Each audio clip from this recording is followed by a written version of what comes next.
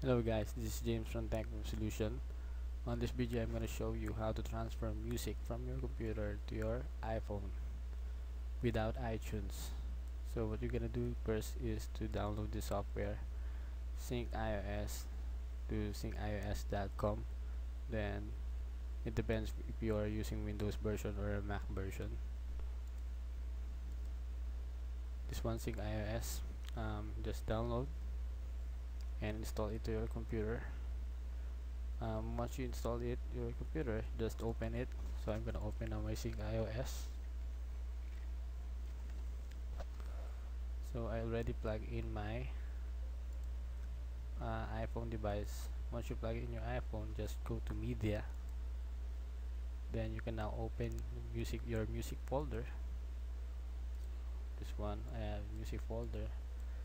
Just select all then drag your music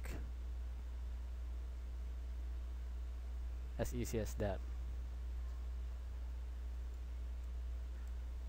So if you're having a problem transferring your your music from your computer to your iPhone using iTunes so you can use this software Syncios it's very easy uh, to use and user friendly so that's it guys. Um, thank you for watching this video have a great day